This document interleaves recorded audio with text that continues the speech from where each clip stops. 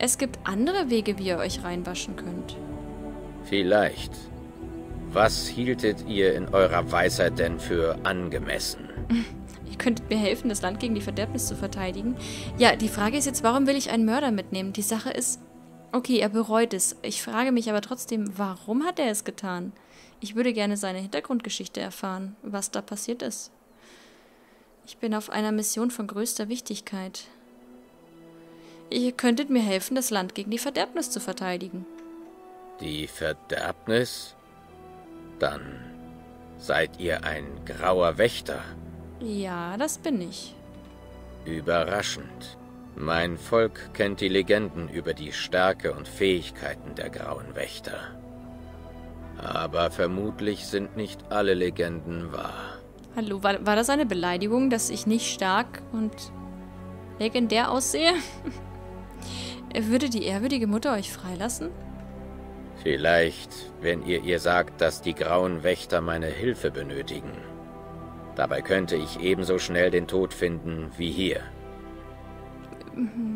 Wenn wir es zu verhindern wissen, hoffentlich nicht. Ich möchte keinen verlieren von meinen Gefährten. Wir gehen erstmal. Dann lebt wohl. Damit er hier verhungert oder von der dunklen Brut geholt wird? Niemand verdient dieses Schicksal, nicht einmal ein Mörder. Das ist richtig. Deswegen gucken wir mal. Kodexeintrag. Heilige Asche. Charaktere. Was haben wir denn da? Stan. Wenn ihr kein Bedauern kennt, habt ihr entweder ein beneidenswert schlechtes Gedächtnis oder ihr führt ein erbärmliches Leben. Die Inseln des Nordens sind weit entfernt. Dort gibt es dichte Dschungel mit Städten, die zu den außergewöhnlichsten zählen sollen, die je erbaut wurden. Hier leben die Kunari. Und kein anderer hat je etwas davon gesehen. Nur die Geschichten über die drei erhabenen Märsche gegen die Riesen haben den Süden erreicht, bis zur Ankunft von Sten. Der stoische Riese im Käfig war sicher das Seltsamste, was man in Lothering je gesehen hatte. Zumindest bis zur Verderbnis. Ach so, ich vergesse dann immer, dass ich zumindest auch mal auf alles gelesen klicke, damit wir auch sehen, wenn was Neues da ist. Ja, dann ähm, gucken wir doch einfach mal. Und sprechen mit der Alten. Mit der Alten sage ich so richtig abfällig. mit der ähm, Kantorin. Was, die Kantorin? Nein, der Kantor war das da vorne. Die, die, genau, ehrwürdige Mutter. Die Kunari, die vor mittlerweile drei Jahrhunderten auf der nördlichen Insel von Parwollen an Land gingen, stammen aus einem unbekannten Land. Und jetzt habe ich einen Ohrwurm. Von Biene Maya. ah, wer das Lied von Biene Maya kennt, der weiß, warum ich da jetzt drauf gekommen bin. Ehrwürdige Mutter. Guten Tag, Schwester Liliana. Ich bin überrascht, dass ihr noch in Lothering seid. Ich freue mich auch, euch zu sehen, Hochwürden. Gibt es irgendetwas, das ich für euch tun kann? Ich wollte mit euch über Stan, den eingesperrten Kunari, sprechen. Es wäre möglicherweise gütiger gewesen, ihn hinzurichten, aber ich lege sein Schicksal in die Hände des Erbauers. Warum interessiert ihr euch für ihn? Was hat er getan? Er hat die Bewohner eines ganzen Hofes auf dem Gewissen. Nur eines der jüngsten Kinder konnte sich lange genug verstecken und überleben. Das Kind hat erzählt, dass sein Vater den Kunari schwer verletzt gefunden und bei sich aufgenommen hat. Diese Güte wurde mit Mord vergolten. Die Männer des Ben haben den Kunari gefunden. Er stand einfach zwischen den Toten. Er hat keinen Widerstand geleistet. Seid ihr sicher, dass er es war? Er hat seine Tat gestanden, aber er hat nicht gesagt, warum er sie begangen hat. Selbst die erfahrensten der Ritter, die ihn festgenommen haben, waren von der Grausamkeit der Tat erschüttert. Lasst euch von seinem ruhigen Wesen nicht täuschen. Der Kunari stellt eine Gefahr dar. Kann ich euch irgendwie überzeugen, ihn freizulassen? Dann könnten seine nächsten Opfer euch und mich zu ihren Mördern zählen. Ich bin hier, um ihn zu seinem Volk zurückzubringen. Ich denke, ihr solltet eure Entscheidung noch einmal überdenken, und zwar schnell. Ich hatte mir überlegt, dass ihr ihn vielleicht freilassen und unter meine Aufsicht stellen könntet. Und was haltet ihr davon, Liliana? Ihr kennt eure Gefährtin besser als ich. Es sind ungewöhnliche Zeiten, Hochwürden. Bei uns könnte der Kunari etwas Gutes tun. Dessen bin ich mir sogar sicher. Wäre die Lage nicht so verzweifelt. Gut, ich vertraue euch. Hier sind die Schlüssel zu seinem Käfig. Der Erbauer wache über euch. Danke, Hochwürden. Wir werden euer Vertrauen nicht enttäuschen. Unsere Füße sind im Boden, ist mir gerade aufgefallen. Ach, im Teppich. Das ist interessant. ja, sowas fällt mir dann in Videosequenzen auf, weil ich mich dann überall umgucke und alles Mögliche angucke. Nur meistens nicht die Person, die gerade spricht. Okay, wir haben also den Natürlich. Kunari, beziehungsweise den Schlüssel. Das alte von Magistern und mächtigen Blutmagiern regierte Reich von Tivinter. Vom Blutemagiern regierte? Wirklich? So, dann holen wir uns den. Und dann würde ich sagen, gehen wir endlich mal raus aus diesem Dorf und. Also gut. Ich habe da eine Frage, die ihr mir nicht beantworten könnt. Redet ihr mit mir? Jawohl. Ihr haltet euch doch für schlau. Ich habe eine wissenschaftliche Frage für euch und wette, dass ihr sie nicht beantworten könnt. Oh, das möchte ich bezweifeln. Also sagt mir, wie hieß Andrastes Ehemann?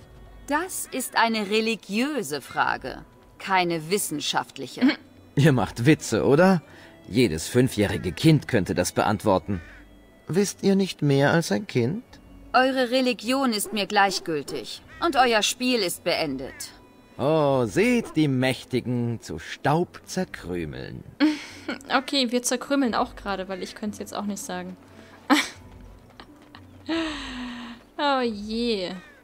War, war nicht der Erbauer? Ich. Keine Ahnung. Schande über mein Haupt. Wir sind in diesem Spiel nicht gläubig. Möchtet ihr sonst noch etwas? Ja, ich habe den Schlüssel zu eurem Käfig. Ich hätte nicht erwartet, dass die Priesterin sich davon trennen würde. Sie hat eingewilligt, euch freizulassen und unter meine Aufsicht zu stellen. So soll es sein. Lasst mich frei, und ich werde euch in den Kampf gegen die dunkle Brut folgen. Wie genau könnt ihr uns helfen? Ich habe mein Leben im Kampf verbracht. Ich kenne den Krieg. Und eure Länder brauchen jede Hilfe, die sie bekommen können. Äh, Das ist wahr. Wir lassen ihn frei. Es ist also geschehen. Ich werde euch in die Schlacht folgen. Auf diese Weise werde ich Buße tun. Und wenn ihr mir auf die Nerven geht und ich mich entscheide, euch zu erschlagen. Danke, Stan. Ich freue mich, euch bei uns zu haben. Ja, ich freue mich. Eigentlich, ja. Andererseits. ja, doch, eigentlich schon. Können wir gehen? Ich möchte diesen Ort verlassen. Wir haben also Stan. Oh, er betet so andächtig irgendwie. Und sie steht da ganz lässig. Und Wuffi macht sich breit im Bild. Wir bleiben aber, denke ich, bei dieser Besetzung. Vorerst. Kann sich natürlich noch ändern. Was ist da hinten? Da hinten stehen Leute. Abseits, außerhalb vom Dorf. Haben die hier irgendwas zu verheimlichen? Flüchtlinge? Die stehen da so, als würden sie auf uns warten. Deswegen gehe ich erstmal hier hin. Liegt ein besetzter Helm. Großartig. Hat Liliana irgendeinen Helm an? Ich weiß es gar nicht. Nein, hat sie nicht. Dann hast du jetzt hier einen Helm. Dann hast du zumindest irgendwas an. Hallo? Wir haben gehört, was man sich erzählt. Ihr seid ein Wächter. Ich weiß nicht, ob ihr König Kalen auf dem Gewissen habt. Und der Bauer möge mir verzeihen. Es kümmert mich auch nicht. Aber das Kopfgeld, das auf euch ausgesetzt ist, könnte eine Menge hungriger Mäuler stopfen. Angriff! War klar. Ah! Wer pullt denn da so? Wir gehen nach hinten. Beziehungsweise, wir bleiben einfach hier stehen. Da kommen noch ganz viele andere. Bist du wirklich so dumm? Das sind ganz schön viele. Oh nein, wir machen den gerade noch fertig. Geht's allen gut? Es geht allen gut. Jetzt findest du dein Ende. wie sie alle auf Morrigan losgehen. Na, warum? Ich wusste, wir können nicht verlieren. Ich dachte, sie ist Fernkämpferin. Dann steht sie da im Nahkampf mit der Armbrust. Wie viele Flüchtlinge wir hier gerade getötet haben. Oder Bauern oder was auch immer. Wir sind bestialisch. Aber es gab ja auch keine Möglichkeit, mit denen zu reden. Ich hätte es ja gerne versucht. Wird erledigt. Ach, Feuerpfeil. So, da vorne ist wieder irgendwas los. Das sieht auch verdächtig aus. Wir gehen erstmal nach hier. Glaube ich. Was ist das? Blutmagier? Bodan? Sende? Was, was ist da oben los? Wie ihr meint. Das klang... Klebrut, Vorsicht! Dunkle Brut? Da oben? Oh nein! Schnell! Toll, er ist einfach auf der, die andere Seite runtergegangen. Ah, da oben ist noch einer, oder? Ah, Ich bringe euch wie, was mit. Ich möchte hier nicht alleine sein. Betäuben. Dann gehen wir auf den da. Aua, wir kriegen gerade richtig auf die Mütze. Andererseits Liliana eigentlich auch.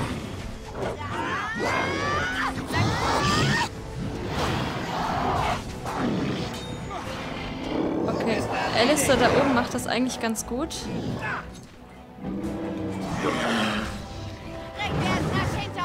Wir sollten ja eigentlich keine Akku ziehen. Diese Musik hier ist so tamtam. -tam. Es ist Blutmagier. Natürlich. Versiegelter Brief. Nehmen. Das Male... Was? Ah, die Verderbnis. Das Wesen der Bestie. Gewinne die Magie des Zirkels. Ach herrje. Ähm, hatten wir nicht gerade hier Quest bezogen? Des Malefaktors Reue. Ich gehe nicht zurück. Sollen sie mich jagen und fürchten, mich zu finden. Aber du, Melis, sollst dieses Leben nicht führen müssen. Es würde mich glücklich machen, wenn du im Turm des Zirkel bleiben würdest. Ich habe einige Dinge zurückgelassen, meist den Verzauberern gestohlen. Verkaufe sie und finanziere damit deinen weiteren Weg. Das Bündel befindet sich im mittleren Alkoven des Studierbereichs. Leb wohl. Bell Gruß. Okay. So, wer seid ihr denn? Ihr seid gerade noch rechtzeitig gekommen. Ich stehe tief in eurer Schuld. Äh, Wie tief genau? Gern geschehen. Mein Name ist Bodan Feddig, Händler und Unternehmer. Das hier ist mein Sohn Sandal. Sag Hallo, mein Junge. Hallo. In diesen Tagen ist es auf den Straßen ziemlich gefährlich. Dürfte ich fragen, was euch hierher führt? Vielleicht haben wir dasselbe Ziel. Der ist aber freundlich irgendwie. Ähm, ich bezweifle, dass ihr mit einem grauen Wächter reisen wollt. Es könnte kompliziert werden. ich bezweifle, dass ihr mit einem grauen Wächter reisen wollt. Ein grauer Wächter also?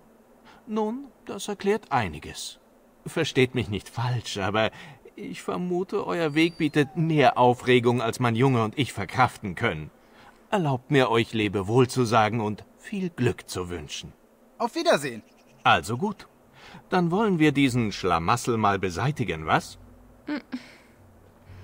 Kodex aktualisiert. Schon wieder. Was haben wir? Nicht wirklich. Nicht wirklich? Ich dachte, Kodex wurde aktualisiert. So, was können wir hier plündern? Oh, Alistair. Eine kleine... Eine kleine... Äh, Statu eine Statuette mit einer ähm, Frau, die in Roben gewandet ist. Das ist für Alistair? Warum? Gut, können wir, ihm, können wir ihm natürlich gerne mal geben. Das ist ja immer hier. Alistair. Daran könnte ich mich gewöhnen. Oh. Wie, wie sieht's denn da eigentlich aus, so mit den anderen? Oh, Morrigan hat uns sogar ein bisschen lieber als Alistair. Oh je. So, haben wir hier noch irgendwas? Hier ist Sackgasse. Hurlock Alpha liegt da noch. Und da hinten geht es dann weiter. Das ist für uns eigentlich uninteressant, denn wir wollen ja hier dieses, diesen Abschnitt noch nicht verlassen. Ich kann gerade irgendwie, konnte ich gerade die Maus nicht nach oben drehen. So, aber eigentlich haben sie mich daran gehindert, hier diese Elfenwurzel Sehr zu plündern. schön. Das wollte ich ja eigentlich machen. Und ihr da vorne äh, seht mir auch nicht ganz koscher aus. Mhm. Wer seid ihr? Und warum laufe ich eigentlich vor? Warum greifen uns mal Bari-Hunde an? Sehr schön. Wir müssen auf jeden Fall immer auf die Hunde gehen. Die machen echt viel Schaden. Tank, wir haben da so ein kleines Mabari-Problem. Anders als wir vertragen. Ganz schön viel. Geschicklichkeit ist gut, um auszuweichen. Oh ja, das ist praktisch. Danke, Alistair. Räuber. Natürlich. Oh, den einen haben wir damit getötet. Wir brauchen gar keinen Heiler. Es läuft eigentlich alles ganz gut. Noch. Noch habe ich zu lachen. Bald werde ich wieder weinen, weil alles so schwierig ist. So wie bei Liliana. Da machen sie uns wieder komplett platt. so, genau. Wir gehen einfach mal in diese Richtung weiter. Natürlich. Ja. Was? Ach so. Wer seid ihr denn? Warum? Wir brauchen unseren Tank hier vorne. Er ist immer der langsamste. Könntest du bitte antanken? Na, okay, er schafft den da auch noch. Dann schlagen wir den da schon mal ein bisschen an. Und gehen zu den Bogenschützen. Die sind nämlich eigentlich auch immer das Problem. Unser Wuffi. Na, Sehr. Warum haben wir die ganze Zeit... Herr Und wir leben noch. Ja, das wundert mich aber, Herr Tank, denn eigentlich sollten sie dich schlagen und nicht mich. Irgendwann werde ich sterben, weil du deinen Job nicht richtig machst, Alice. Ach, ja. Elfenwurzel. Na, warum habe ich sie nicht mitgenommen? Wie ihr meint. Jetzt habe ich sie mitgenommen. Ein bisschen störrisch hier, unser Charakter. Wärmebalsam. Ach, hier kommen wir auch wieder in die Stadt. Na, ich will ja nicht direkt in die Stadt zurück. Wir haben hier draußen ja, denke ich, noch einiges zu tun. Zumindest haben wir hier noch ein paar Pfeilchen auf der Karte und die werden wir noch versuchen abzuarbeiten. Nur ich muss mir echt angewöhnen, zwischen den Kämpfen mal wieder zu speichern, weil es kann dann doch mal passieren, dass es auf einmal rund geht. Ein sehenswerter Baum. Ein sehenswerter Baum? Dein Hund scheint besonderes Interesse an dieser Sehenswürdigkeit zu haben. Warum? Rangordnung bei den Mabari ist jetzt aktiv. Toll, er hat besonderes Interesse. Ja, er wollte ihn anpinkeln. Das ist ja super. ha, Kreaturen. Rangordnung bei den Mabari. Mabari stammen von Hunden ab, die im Rudel gejagt haben, und wie ihre Vorfahren unterliegen auch sie sehr stark einer festgelegten Rangordnung. Die übliche Methode, diese Ordnung zu ermitteln, besteht darin, wichtige Punkte eines Reviers zu markieren und es dadurch für sich zu beanspruchen. Ist das von Erfolg gekrönt, gewinnt der ranghöchste Mabari Selbstbewusstsein, was indirekt sowohl dem Hund als auch seinem Meister entgegenkommt.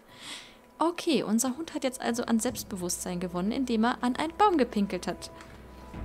Schön, dass man nie auslernt. also das ist... äh, Oh, Spinnen! Tank!